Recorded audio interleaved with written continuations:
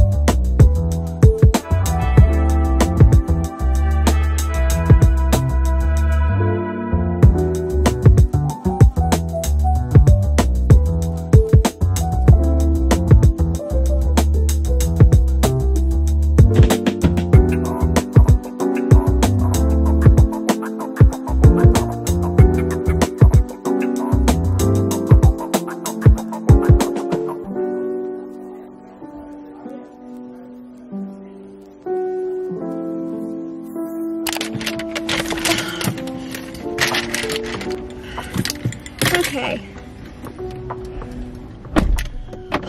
I just did some damage that I really was not expecting to do, so I don't know what to make of myself right now. Is the lighting bad over here?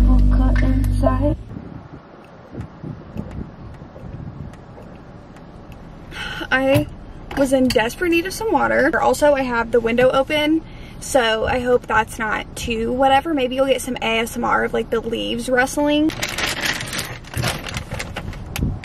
I definitely did some damage.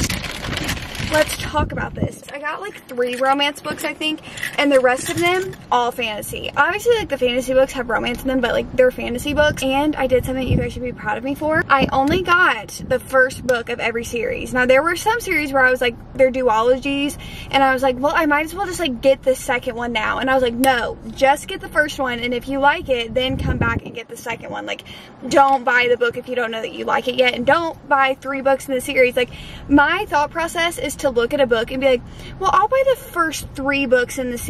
And it's like, no, just buy the first one. So I just bought the first book of like multiple different series. We'll start off with the romance books that I got because I feel like they are very fall vibe. Now, it doesn't necessarily just like say that, but I feel like it's a good fall romance read. Even though my fall TBR, I made a video about my fall TBR. Guys, I mean, if we're just being honest, like I'm having a hard time. So I wanted to go to Barnes & Noble and get books. And I've said this in a book shopping video before that I should not be allowed to buy books when I'm having like a bad mental time. Like people should look at me and be like, no, like you cannot, like I'm not letting you, especially alone. Like I, oh my God, this is like a repeat of that video. I literally came alone and I'm just having a bad mental time. So I just like go, okay, just buy all the books you want and then I feel bad about spending the money after, so. Anyway, let's just talk about the books. You guys are like, Destiny, we're not your therapist. I get it, I'm sorry. The first book that I got is The Bodyguard by Katherine Center. I know that everyone like was talking about this. This was the book of the month book for was it for July or August? I think it was for August. And I saw like so many people on TikTok, on YouTube and everything talking about this book. So I was like, okay, I want to give it a shot. Does this remind anyone else of Austin Powers? Like looking at this and like looking at the girl, does that not remind literally anyone else of Austin Powers. Or is that like just something weird with me? But it's like fake dating, I think, and she's the bodyguard instead of the guy being the bodyguard, which I love, and also I really like this cover. I don't like buying hardcover books because they're like 30 bucks. Like, why was this $30? When the paperback would have been like 17. Fun fact, but like last year in 2021 at some point, right? We're in 2022, right? Last year was 2021. In 2021 at some point I read From Blood and Ash by Jennifer L. Armentrout. I literally never picked up another book in that series because for some unknownst reason to me, those books are only in hardback. So I went and I was like, okay, I'm gonna pick up the first and second book since I already read the first book and I enjoyed it. I mean, it's not one of my favorite things ever. Like I never think about it, but I was like, maybe I should give the rest of the series a try. Yeah. Tell me why those books are like $35. I quickly put that book back. I was like, uh-huh not today. And then I got in a New York Minute, which I have been seeing every single time that I go to Barnes & Noble like more and more people are pulling up and I'm getting so scared to talk. Okay, and for the first time today, I actually like read the little blurb that's in the front and it seems so cute. One, her name is Franny and if you guys ever watched The Nanny growing up, that's what it reminded me of because her name is Fran. I don't think her name's Franny, but I think it's just Fran. And it was just so cute. And also like the synopsis, it's like they keep on accidentally meeting and they're like polar opposites and it just seems so cute and I love literally anything to do with New York. In the last romance book that that I bought is The Godparent Trap, which I have heard that this book is like, uh, what's that movie? There's a movie with the girl from Grey's Anatomy and this other guy. and it's basically this same exact thing where it's like they have to all of a sudden like help raise these kids and I think that the guy it's his sister that something happens to and it's her best friend and they both have to work together to raise these kids and I just liked that movie. I've heard that it's a mix of that movie and The Parent Trap so I just like put my name on it. That sounds absolutely amazing and I can't wait to read it. Now, I'm pretty sure I just have a bunch of fantasy books. Well, except for... Where did that book go? Except for this, I got Clown in a Cornfield. I think this is like a thriller. I've seen it on this one bookstagram account I follow. If you guys love like fall vibes with books, go follow her because she's always posting just like the best fall vibes. And I've seen I've seen her post this on multiple occasions, so I want to give it a try. Okay, next I have all of the fantasy books that I just bought, like the first book in them, so I'm just gonna pull them out randomly. First I bought City of Bones, which is this the one that Haley is reading? Or did she, or was she reading the internal devices? Wait, am I stupid? Hold on, because I'm gonna tell you guys why I bought this. No, it's this one. So I think she's reading the infernal, infernal devices? Infernal? I think. I don't know. But I bought this because you guys know how much I love Stranger Things and Jamie Bower, who plays a character in that show. He plays this character in the show and then I had seen people posting on TikTok this other movie he was in and it was from this series but I didn't know if it was the Infernal Devices or if it was the Mortal Instruments and it was the Mortal Instruments. So I think that that movie is about this book.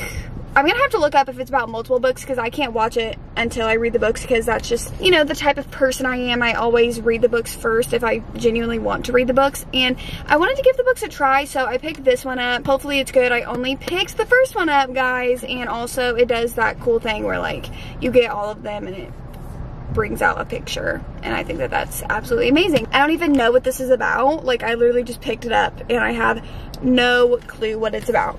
None. So that shall be fun. And then we have these hollow vows which this is kind of like i've heard this like compared to ACOTAR a little bit. Um not a lot. Not like it's exactly like ACOTAR it's very similar because i'm pretty sure it deals with fairies. But i am very excited because i've seen a few people talk about this. And uh, obviously if you guys read fantasy books you're like yeah duh that's been talked about forever, but I'm new to fantasy and after doing my reading six fantasy books for my taste test, I really just like went into the fantasy section and just picked ones that really spoke to me. Like maybe I've heard some things about them, but not a lot. Like I've seen people say that they've read this, but I don't honestly know anything about this series. So I was excited this one caught my attention as well as Bone Crier's Moon, which I haven't seen anyone personally talk about this. This is just a duology.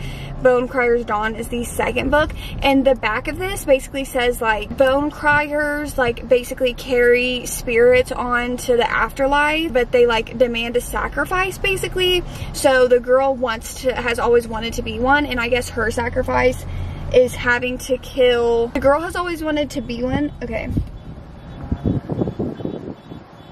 basically I think it's her sacrifice is that she has to kill the boy she's destined to love and the guy is like taking revenge for something and then the best friend's also in it. So I don't know there's like a bunch of different characters but it seems like it focuses on the girl and the guy. Ooh and then I got hush hush. Fun thing about this is that I saw a TikTok about this book and it was like me when I was 13 like seeing this book for the first time and it was that like something horrible is happening inside of me and I don't know why. Audio if you know you know. If not I spend way too much time on TikTok so. But it like made me intrigued because so many people were like talking about like growing up with this book series and I was a little bit like okay. I know nothing about it. I just know that everyone said like how much they loved it and it seemed pretty interesting. Honestly the back kind of reads like twilight a little bit so i also want to read it to see if it's very similar to twilight because it kind of seems similar in a way.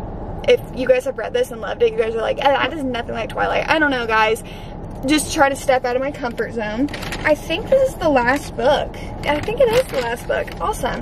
Then I got Throne of Glass. This is the first book, right? I really hope it's the first book. I'm pretty sure it is because it's called the Throne of Glass series. So I'm hoping that this is the first book, but this is by Sarah J Maas, same author who wrote ACOTAR. So I know that everyone loves that series and I've seen so many people recommend this to me because I love the ACOTAR series. They're like, please read Throne of Glass by Sarah J Maas. I kind of rhymed and the way I said mass kind of sounded a little weird. I was like, okay, I saw it. I picked it up. I was like, I feel like it's time. I mean, I just bought it. Like, who knows when I'm to actually get to this. Maybe next month I will just be like making a video, just like testing out a bunch of different series. You know what? I think that's what I'm to do. I think I'm to do one huge video where I just read the first book in all of these series and see out of the how many are there? Out of the five that are here, if I want to continue on with the series of them. I feel like that sounds good. Boom, made a video idea up on the spot. That sounds great. Okay, that's everything that I bought from Barnes & Noble. That concludes this book shopping video today.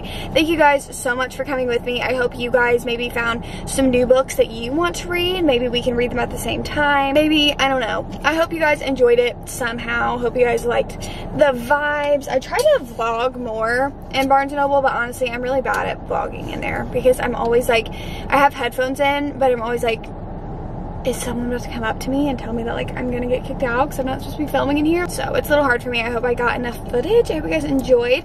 If you did, you guys know what to do. Like, comment, subscribe, all that YouTube stuff that you guys know how to do. And with all of that being said, I will see you guys when I see ya. Peace.